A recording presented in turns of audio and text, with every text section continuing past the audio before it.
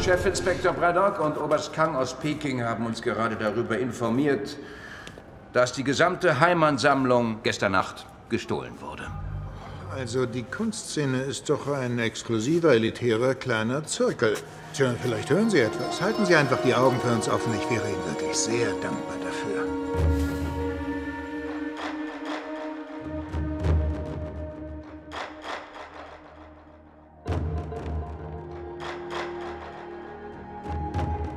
Jeder kennt Edward Lim in Hongkong.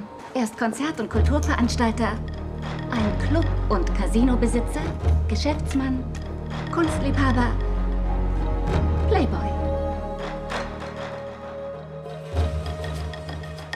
Diskretion gehört zu unserem Geschäft in Hongkong. Ich war da. Wo? Im Dynasty Club. Victoria.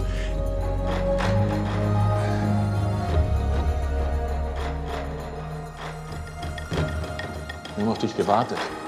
Es gab Verhaftungen wegen Mordes. Unter anderem dieser Edward Lin. Du hast dich noch geschäftlich mit ihm getroffen. Ich habe eine Nacht mit ihm verbracht. Was, was? Ich werde das nötigenfalls auch in einer offiziellen Aussage vor Gericht bestätigen.